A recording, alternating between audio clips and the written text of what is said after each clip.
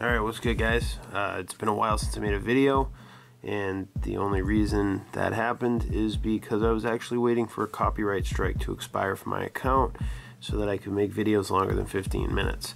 Luckily, that happened yesterday and my account is now currently in good standing. So today, I'm actually going to show you how to make any tablet that runs Android into the ultimate streaming device. So let me kill some of this brightness.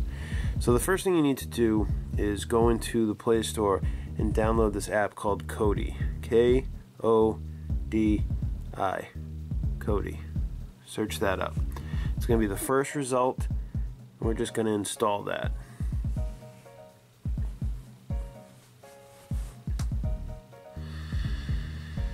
It's not a ridiculously large app, should only take a minute to install.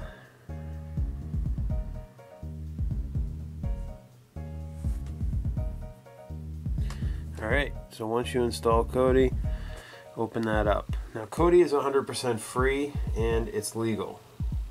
What you do with Kodi can run into kind of like gray areas as far as legality is concerned. So, you know, disclaimer, I'm not responsible for what you do with this app.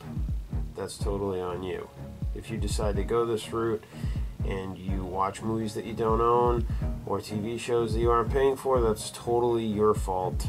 I take no responsibility for that. So basically, we're going to be installing an add-on to Kodi that turns it into like a crazy streaming box. So we're going to go over here to System, tap on System. On the left hand side, we're going to go to Add-ons, and then we're going to go to Install from Zip File. So once you go to Install from Zip File, choose External Storage, Download, and then this file right here, this Lentech TV, that will be in the description.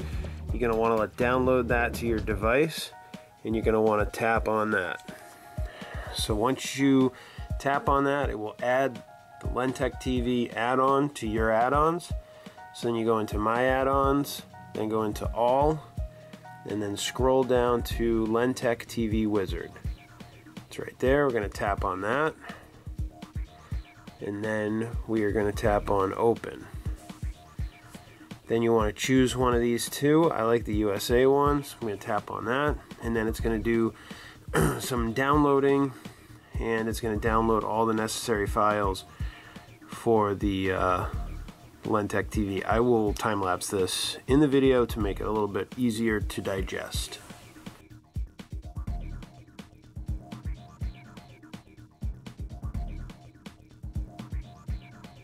Alright, so once you reach this point, it says uh, Android box users do not click OK, simply unplug the power. So what you want to do here is actually exit the app and then close it from your recent apps.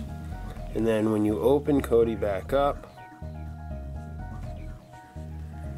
you will have the Lentech TV plugin installed and then you will have movies, TV shows, live TV, kids, sports, a whole bunch of different. Uh, so I'm just going to tap on, let me let it build the menus and whatnot.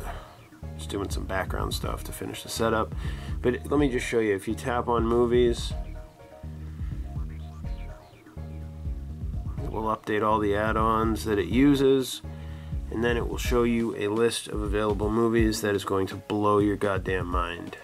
So, uh,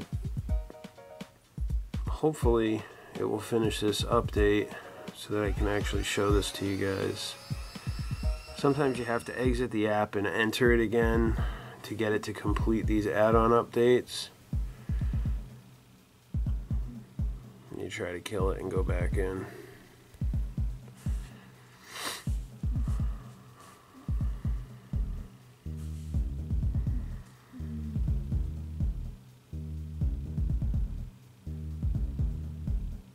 There you go. There's all the movies that are available for you to check out. Now, this list goes on for days, and like I said, if you use this to watch movies that you don't own or do anything else nefarious, that's on you, not on me. This is a learning video. I'm just showing you guys that it's possible. So that does it for this video. Uh, make sure you subscribe, like, all that stuff. Share it with your friends. Um, make sure you check out my other Android videos, my computer videos, everything else. Tech related content, unboxings, reviews, all that good stuff. And that does it for today. Thanks for watching. Sworn Leader signing out. Peace.